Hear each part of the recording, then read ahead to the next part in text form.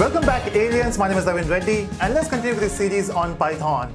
In the last video, we have talked about operator overloading, right? Which simply means you have an operator like plus, minus, or division or multiplication. So the operator will remain same, but the operands will change, right? The type of parameters we are passing, it will change. Example, when you say plus, we are calling the add method, right? And add method takes different types of parameters or different types of arguments. So that is overloading. So which simply means you have the same method name, but the arguments are different, or maybe the number of arguments or the type of arguments are different. In the same way, we have two more types in polymorphism. One is method overloading and method overriding. So what it means, let's start with the first one, which is method overloading. Now, languages like Java, C Sharp, or any other OOPS language, they have this concept of method overloading, which is not there in Python. But what exactly it is?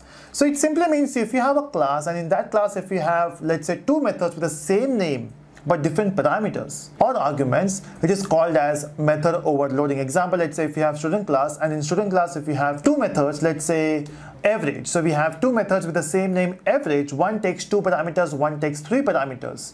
This is called as method overloading. But in Python, we don't have this concept. So we cannot create two methods with the same name. The next one is method overriding, which simply means you have two methods with the same name and same number of parameters or arguments Okay, so that means can we create two methods with the same name in same parameter in the same class? Of course not, not in the same class. But let's say if we have a concept of inheritance, we have class A and class B and both the class have the same method with the same name, same parameter, this is called as overriding. Again, we'll see the impact of that. Let's start with the method overloading first. So if you want to achieve method overloading, what I will do is I will just remove this methods from here, just to keep it simple, right? So we got a init method and it is working perfectly. Let's remove all the extra stuff from here. We just want to create one object, not even two.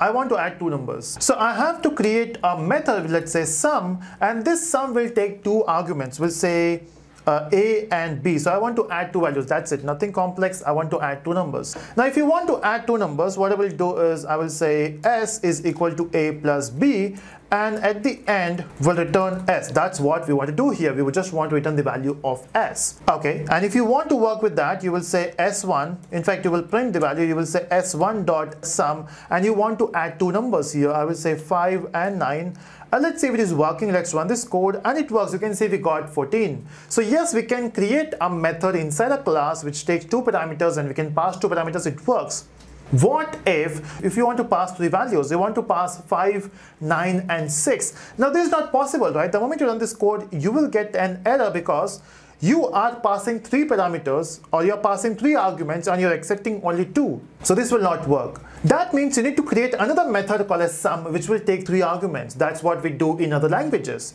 But here we'll not do that. Here what you can do is you can also use third variable. You will say C. You got A, B and C. And you will simply say A plus B plus C, right? So this will work. So if I run this code, and you can see you got 20 and this is right you, you will get 20 so we are passing three arguments and we are accepting three arguments. It will work. But what if i'm not passing third argument? I'm passing only two arguments. And now the problem starts right? Because you are expected to pass the third argument as well. How do we solve this to solve this thing, we can use a concept where you will say A is equal to none. So there is one option. The other option, we can use the variable length arguments. If you remember, we have done that before, uh, the star and variable name. But this is another option. You can say all the values are by default none, which means even if you don't pass the value, this is default arguments, right? So even if you don't pass the value, the default value will be none. So that means even if you don't pass any value, example, even if you don't pass 5 and 9, it will work all the values will become none. I want to pass some values. I will say 5 comma 9. I'm passing with two values, right? Let's start with third one. Let's say I want to pass three values, 5 comma 9 comma 6. All these values will be assigned to A, B, and C respectively, right? So 5 will go to A, 9 will go to B and 6 will go to C. So these values will be replaced by none. So none will be replaced by these values, right? So now, once I know this, so we can simply add it. But what if you're passing 2?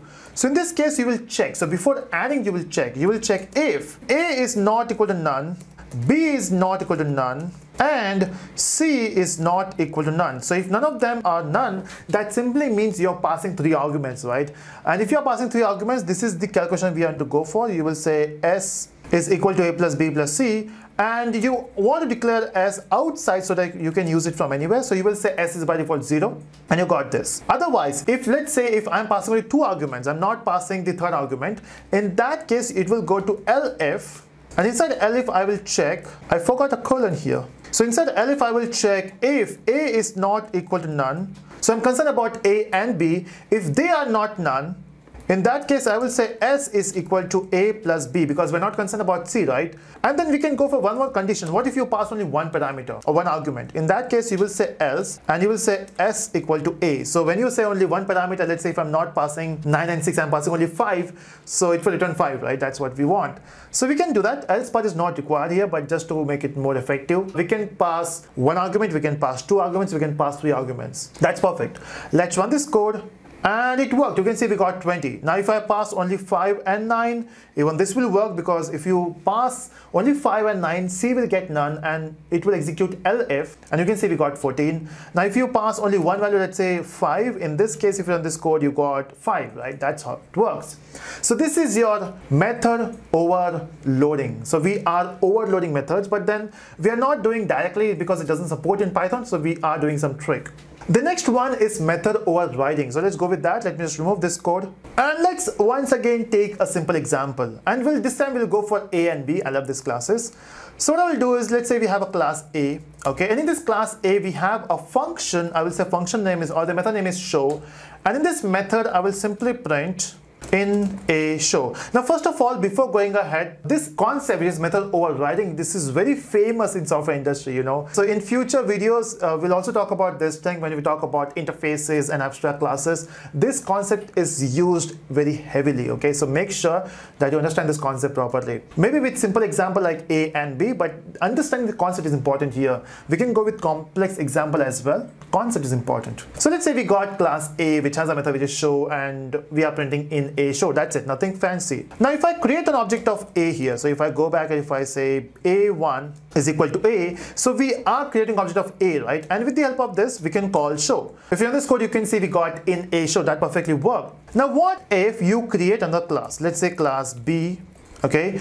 And now imagine this class a is a parent and class b is a child. Example let's say this is my dad and this is me. So we have b here and time in i'm not writing anything here. We say pass. I just want to keep it empty. Okay so we are keeping it empty. Let me create object of b not a but let me create object of b. And let's run this code. And you can see we got an error. It says b object has no attribute as show. Of course right? In b we don't have anything. At this point, you will use the concept of inheritance and you will say, hey, B inherits A. So when you say B inherits A, it means you will get all the features of A to B. And let's run this code and you can see we got in a show because of course, right, in B we don't have show. The moment you run this code, it will first search for the method show inside B. Now since we don't have that, it will go to A to search it and that's how it works. So before going ahead, let me tell you one story, a small story. I've used this story in multiple examples when I was teaching Java as well. So the concept is, when I was in my 11th standard, when I've just joined my college, I was not having any phone, okay? So a lot of people, they used to ask me, which phone you have? So I used to say I don't have any phone, okay, because I was not having a phone. But then this question got repeated multiple times. Then I realized, okay, I have to say something. Now at that point, my father was having a phone which is Nokia 1100. I was not having any phone. So whenever someone used to ask me which phone you have, I used to say I got Nokia 1100. I don't have a phone, right? But my father has a phone. So father's phone is my phone. That's how things works, right? So since uh, B, I'm B, my father is A, so B inherits A, so I got all the features. In this case, uh, show is in, in A, right? In B, we don't have show. After some time, you know, after a few months, I got a new phone and that is Motorola phone. So my father has a Nokia phone and I got Motorola phone. Now if you ask me which phone I have, of course I would say Motorola, right? I would not say Nokia, right? Because my phone overrides my father's phone. That's what will happen here. The moment you create a show method inside B as well, and if you try to print in B show because see when we were not having show inside B it was going to A now since we have show inside B it will print the show of B right? So if you ask me which phone I have now so I will say Motorola not Nokia right? So my phone overrides my father's phone in the same way. This show overrides the earlier show method So this is how you work with method overriding. Again, we'll be doing this concept more in the next tutorials when we talked about abstract classes or interfaces. But this is awesome, right? Remember this point. When you call show, it will call this show method of this subclass if you have it, okay? So that's it everyone. I hope you enjoyed this session. Let me know in the comment section and do subscribe for further videos.